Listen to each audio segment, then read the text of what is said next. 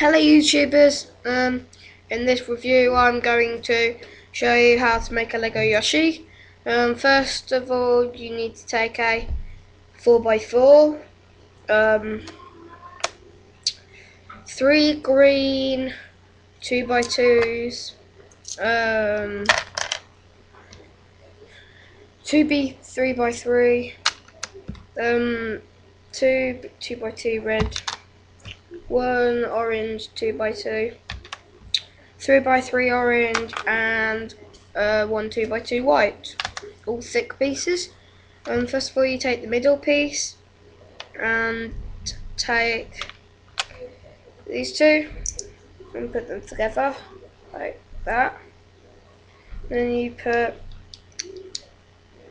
the um, bit like that, so it makes a head and you put it onto the um, thing like that. And then you put the um, arms there, and you put the um, red pieces on the back to make the shell.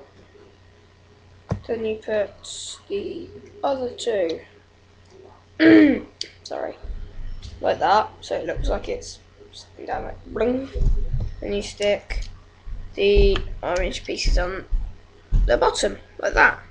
His shoes, his hands, his head, his shell, um, and he's got his tail.